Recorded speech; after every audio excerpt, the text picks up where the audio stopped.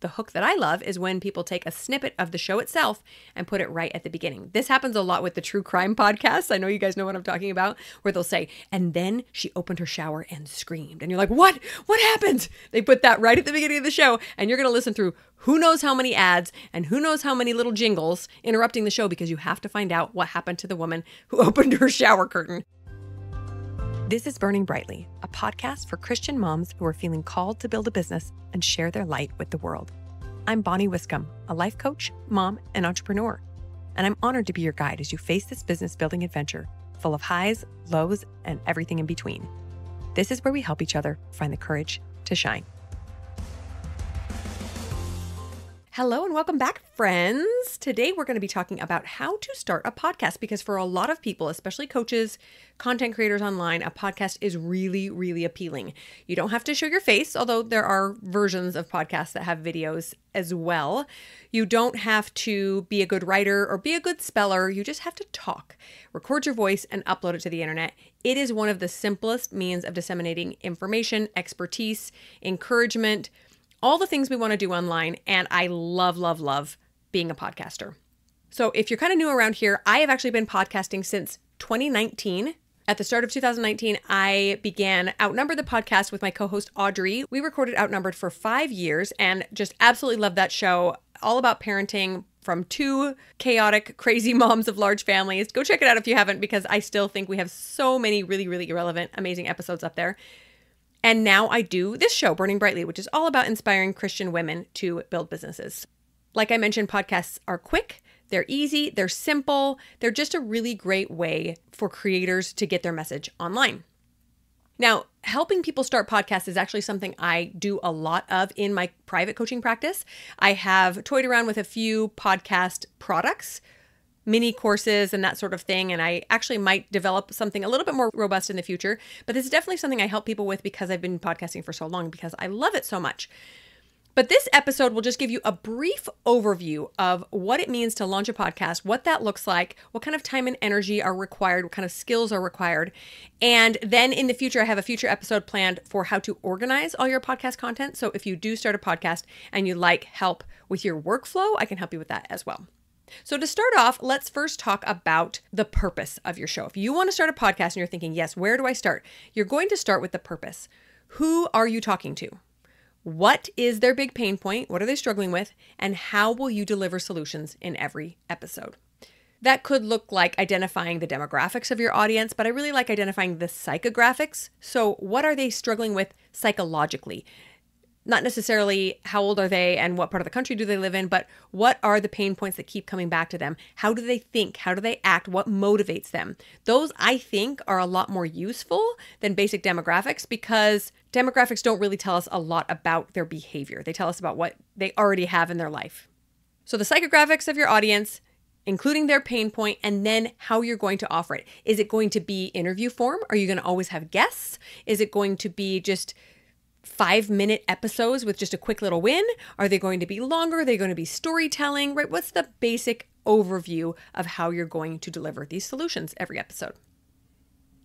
Now, when you come up with the purpose of your podcast, you're going to have to niche it, right? You, you have a very specific segment of your industry that you're going to be talking about. If you need help with the niche, I just did this last week, an episode all about stopping second guessing your niche. So that episode would be a great one to start with before you decide what you want to do your podcast on. But you've already got a niche for coaching or for content, then you basically just have to decide if your podcast is going to be exactly the same or slightly different.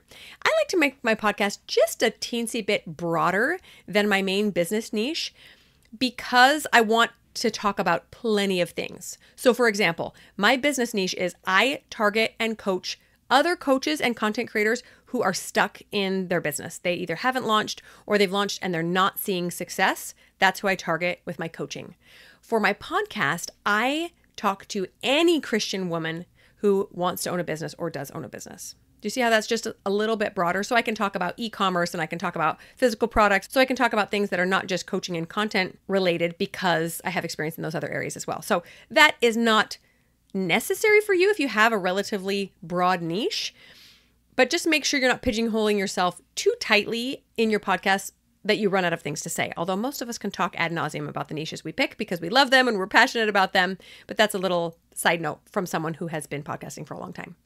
I always tell my clients to ask themselves, could I talk about this topic every week for year after year after year after year? And even if you don't think you could, if it's relatively broad, I say go for it because inspiration comes as you get started.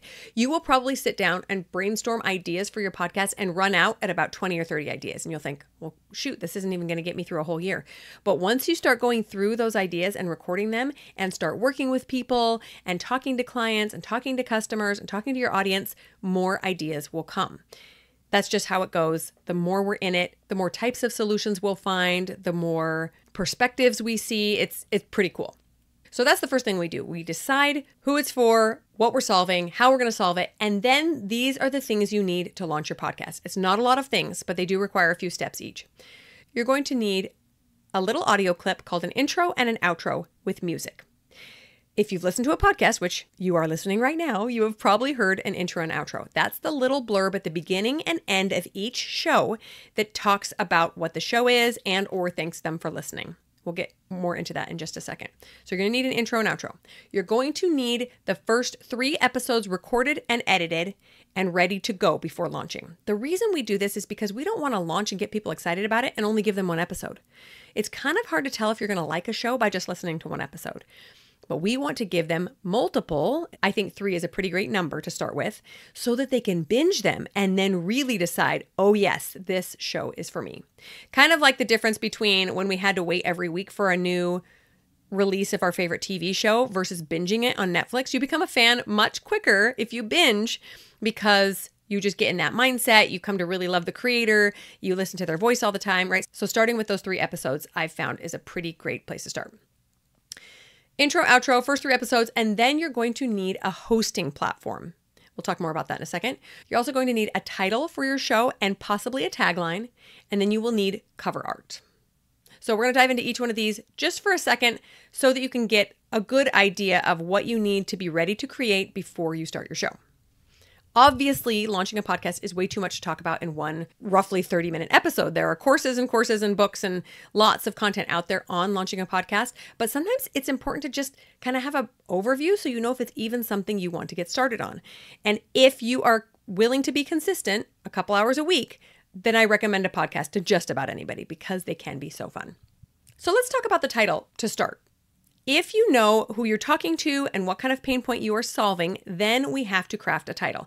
And just like choosing a name for our business, this can be really painful to do. It can involve a lot of overanalyzing and overthinking and Googling. Don't let it take too long. I recommend with decisions like this that you put a limit on it. Let's say you're starting on Monday and you say, by Friday, I will have a title for this podcast.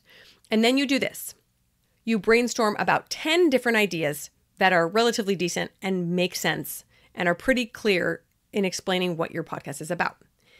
Go to ChatGPT if you need help. Don't take their solutions because AI is always just a little bit too corny, in my opinion, but it can help expand your vocabulary a little bit. Think about words that you haven't used before. So come up with about 10 different title ideas.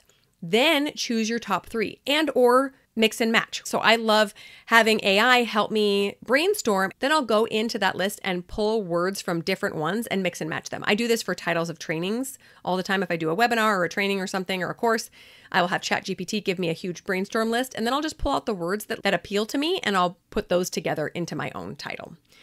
Narrow it down to your three favorites and then go do just a little bit of research. You want to Google each one of those you want to search for each one of those in the podcast app because if they're taken by a podcaster, they're going to be in the podcast app. And ensure that no one else is using them and or they're not copyrighted. Now, is it the worst thing in the world if you choose a podcast name that someone else has already used? No, it's not. Just make sure they're not in the same industry. So when I was researching Burning Brightly, I know I saw a few other podcasts that had similar words. I don't know if any of them had it exactly the same, but if there had been another business show called Burning Brightly, I definitely wouldn't have done it. Just be aware of that. You can find something that's similar, just make sure it's a different niche so that there's no confusion. And then choose your favorite and get some feedback. Again, we don't want to overanalyze and ask everybody and their dog their opinion, but sometimes we're not aware of the way a word sounds or maybe a negative connotation that a friend might clue us into. ask a few trusted friends, and then just go with the one that feels the best. So that's our title. Now, a tagline is totally optional. Not a lot of podcasts have them, but what I've noticed is the podcasts that use kind of clever titles that might not immediately explain what the podcast is about could benefit from a tagline that explains it. So that's what I do for a title and tagline. Now let's talk about your intro and your outro. This is largely a matter of preference. What I like to tell my clients to do is to just go out and listen to some of your favorite podcasts. Listen to the intro, listen to the outro of a couple of different shows and decide is there a particular style that you like? Do you like to sound upbeat and excited? Do you like to sound a little bit more dramatic or mysterious? What style music do you like? You might get kind of a rough idea of what you want yours to sound like, and then you can just kind of mimic that style. Generally, in the intro, what we're doing is we are obviously introducing the show. We're telling them just a little bit about who we are, why they want to listen. We're keeping it super short. In my experience, I find that 30 second intros and outros are about as long as you want to go. Shorter is even better because nobody comes for the intro and the outro, but you want to add it every time because if someone is listening for the first time to that episode, you want to give them a good overview of what the show is about. So, intro to you, purpose of the podcast, inspire them to listen to the whole thing in your intro. And then the outro, you want to thank them for listening, obviously, and then give them one, maybe two calls to action. Do not ask them to do a million things, just ask them to do one thing, like schedule a call with me, click the link in the show notes to get the freebie, share this episode with a friend, leave a review. Don't do all of those, but just pick one, like I said, maybe two to incentivize them to take action after the show. Once you've created your intro and outro, do a little outline, practice saying them out loud, practice recording them, and then you're going to want to add music. My favorite resource for podcast music is called Audio Jungle. So go Google that.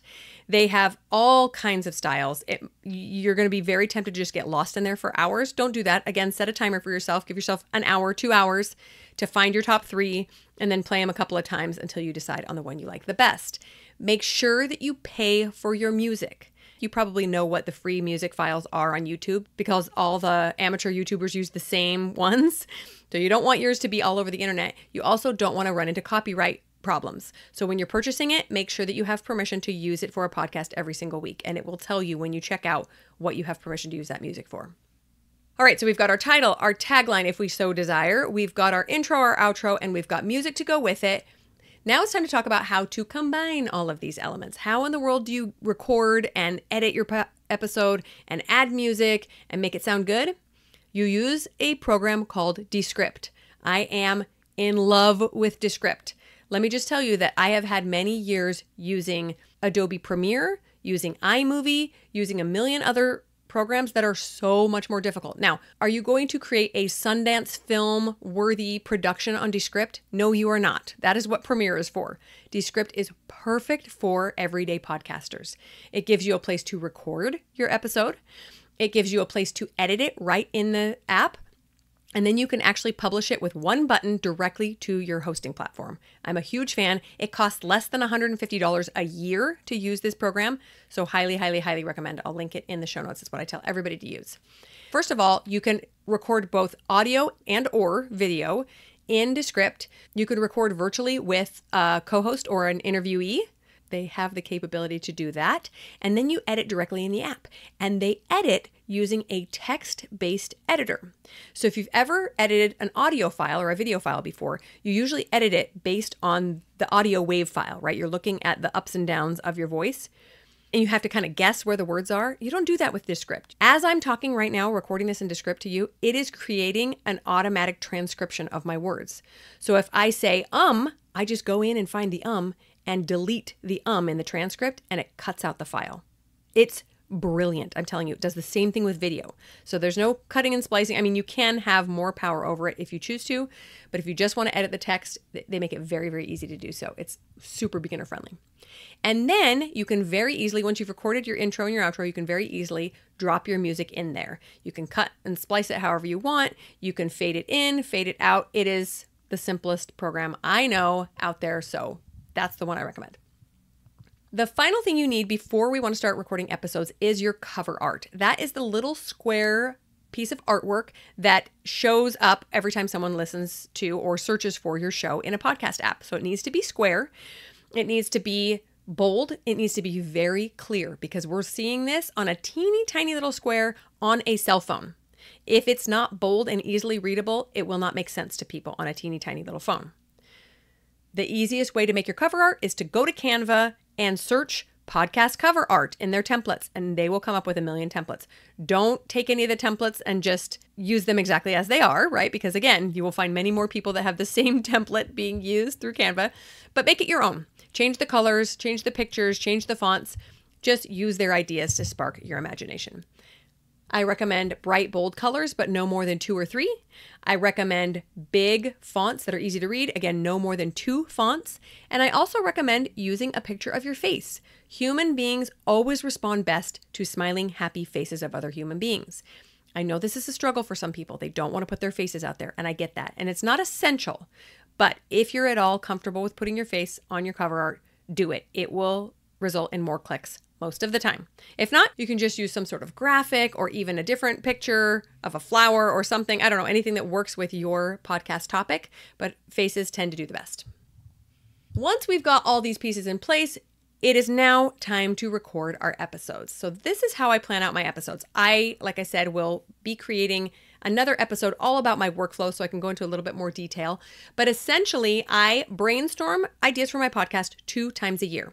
So I will sit down. I very often do this on an airplane because it's my favorite place to brainstorm. There's not a lot to do and there's a lot of white noise. So I'll sit down and I very often pray ahead of time so God can send me some ideas of what He wants me to talk about. And then I just start writing down ideas and I don't edit them and I don't cross them out and I don't tell myself they're stupid. I just write down everything that comes to me. And I usually have at least 50 to 60 ideas and I will probably use about half of them. And then six months later, I will brainstorm again. Not all of them are episode worthy, but it does give me easily enough to fill half the year. And then you get to decide your recording schedule. Some people love to record every week. Some people only want to do it once a month. And so they bang out four episodes in just one sitting. You decide. I recommend trying a couple of different options. Maybe you try weekly and then you try doing two batch recordings a month. Maybe you decide you only want to record and publish one episode a month because that's all you can handle. That's totally fine. But consistency is important. So whatever you decide with at the beginning, I recommend you continue doing. Two to four times a month I will sit down and write an outline for one of these ideas that I've brainstormed, and then I will, record it and edit it. I'll get on a little bit of a soapbox here when it comes to outlining your episode. Please don't write a script for yourself. It's going to be so tempting to do, especially if you don't have experience speaking while recording. You're going to feel like you mess up a million times and you're going to have tons of filler words. It's all normal. It's all okay. You will get better as you practice. The more you practice, the better you get. But if you want to do some practice episodes where you just ramble into a microphone, do it. And then you can just delete them. But please don't write a script because people can always tell. I can always tell when someone is reading. It's really distracting and you kind of sound like a robot. So that's what I always tell people. I mean, obviously, you get to do what you want, but that's my pro tip is to just write a rough outline and then go for it. When it comes to editing your episode, like I said, Descript makes it very, very easy. You can outsource it if it's something you just don't have time for, but I actually think it's kind of fun and it might not be worth your money to outsource for a while until you're making more in your business, just depends on the kind of time and money you have available. Once you're done editing in Descript, like I said, you can just press one button to publish it directly to your hosting platform. And then you fill out the show notes and schedule it for the day you want to go live. Now, that brings us to that hosting platform I talked about choosing a hosting platform really is not a super important choice. There's a million of them out there, and most of them do the exact same thing. But I do like a platform that has good analytics. I want to be able to see who's listening, how long they're listening for. I want kind of some robust reporting.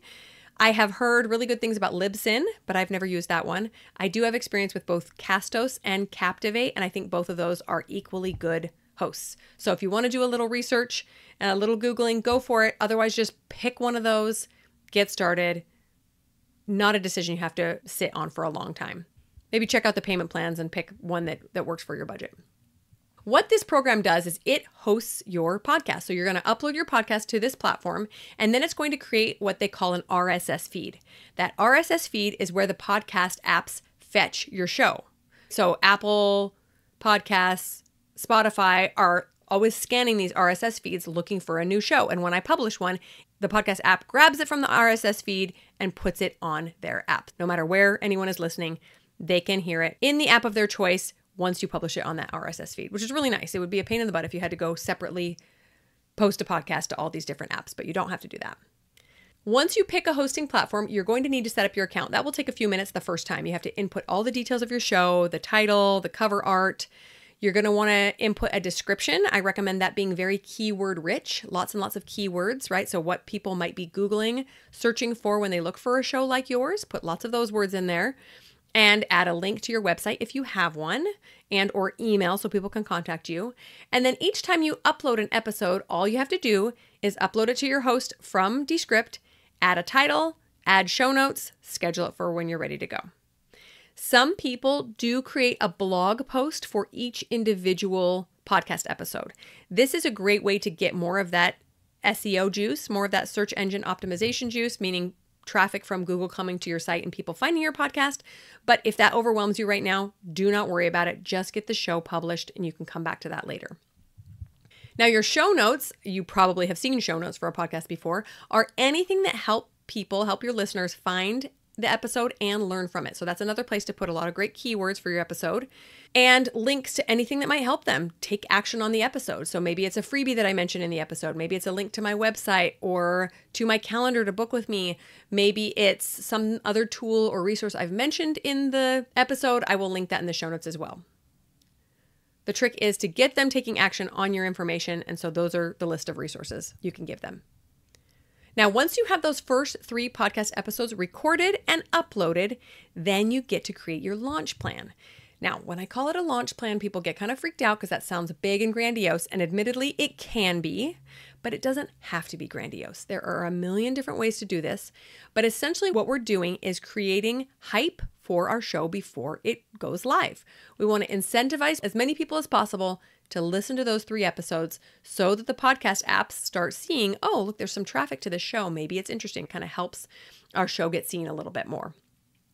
I suggest choosing a launch day. So let's say you have everything done and you decide to launch a month out. You put that on your calendar and you schedule those three episodes to go live that day, 12 a.m. of that day. So anytime that you talk about it on that day going forward, the episodes will be live. And then you just talk about it everywhere. That's the launch plan. I'm going to give you a few ideas, but again, don't let them overwhelm you. Don't let them stress you out. You don't have to do all of them, but the more lead time you can give yourself to create kind of a launch plan, the better you can get the word out as much as possible. One idea is getting interviewed on other people's podcasts, YouTube channels, Instagram channels, anywhere that people have an audience. You want to get in front of them so that they know about your show. You can do a giveaway for anyone who leaves a review on your podcast or proves that they shared the show, right? So if they share it on Instagram and they tag you, then you can enter them to win some sort of a giveaway, gift card or something. One of my favorite things to do that we did on Outnumbered a lot is to read reviews on the podcast itself. If someone leaves you a review, then on the next show that you record, you can read that review out loud. And then the reviewer gets this lovely warm and fuzzy knowing that their review was read and it helps other people realize it's a great show. So that's a really fun way to incentivize reviews. You can also pay or give some sort of incentive to ambassadors for them to spread the word, especially if you have friends or family members who have followings on Twitter or TikTok or somewhere, get them to talk about your show. And you can do this just informally. You can also create kind of a brand program if you're really ambitious, but just getting the word out to other people who can then share it with their audience is pretty brilliant. You can run ads to your podcast if you've done that in the past or you know how to run ads. You can work on building your email list ahead of time, which you should always be doing, and then let your email list know about your launch date, know about exciting things happening. Maybe you do a live video on social media ahead of time where people can ask questions about the podcast. That way, you can interact with your audience and even get ideas for future episodes. So, lots and lots of ideas. I'm actually going to include in the show notes of this episode a link to a really awesome launch plan that I found online. But again, it's very involved, so do not stress yourself out. Your podcast is not going to flop and totally fail if you don't have a big launch. It just does help to get more people listening towards the beginning. So essentially, that is how you launch a podcast. You get those handful of things in place your title, your cover art, your intro, outro, your podcast host, those first three episodes, and then you come up with a doable, realistic launch plan and you get people listening. It's so, so, so fun. A few final tips before I leave you today. Please keep it simple especially if you have other things going on in your life and this is not your full time gig. Consistency is key. So if you can't consistently do all the things I told you about today, then just stick with the things that you can. There are some weeks where all I do is hit record and bare minimum edits, or I send it out to my editor and I upload. That's it. And some weeks I do a blog post to go with it so that I have that search juice. Sometimes I talk about it on Instagram everywhere. Sometimes I email it out to my list. Sometimes I put it on my Facebook group. Sometimes I put it on my personal Facebook profile. There are so many ways to share about the podcast once it's done. I just don't do all of it every week because I can't. So decide what you can do and then go from there. Also, make sure you are jam packing your episode with value. It doesn't have to be an hour long or two hours long. I don't know who listens to two hour long episodes, but make it digestible for your audience, especially if your audience is busy people, busy moms or whatever. But when you give your listeners a solid win and some really great wisdom every episode, they will just keep coming back. They will love you for it. So, again, not overly long, but really, really full of value. And then here is a tip that I actually personally have yet to do, but I really want to try it. One of these days I'm going to remember and try. And that is to give your listeners a taste of your episode up front. So, very often, an episode just starts with the intro, but if people are coming back and they've heard your intro a million times, it's not as compelling to sit around and listen as if you put a hook in the beginning. And the hook that I love is when people take a snippet of the show itself and put it right at the beginning. This happens a lot with the true crime podcasts. I know you guys know what I'm talking about, where they'll say, and then she opened her shower and screamed. And you're like, what? What happened? They put that right at the beginning of the show, and you're going to listen through who knows how many ads and who knows how many little jingles interrupting the show because you have to find out what happened to the woman who opened her shower curtain. That's what we want to do with our show too. Just give them a little taste at the beginning and get them hooked so that they will stick around and listen as much as possible. Last tip do not worry about filler words. You are going to say um 1001 times. I promise you. It just happens all the time.